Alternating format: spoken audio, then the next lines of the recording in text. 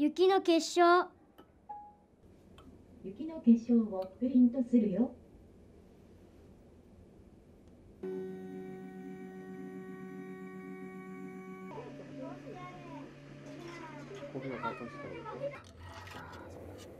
触りたいものを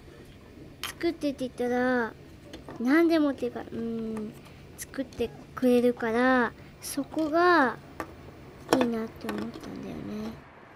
大きすぎるものや小さすぎるもの触りにくいものそれから危なくて触れないものなども触れることができます。でそれを触ることによってイメージが広がりあの自分の持っている世界を広げることができる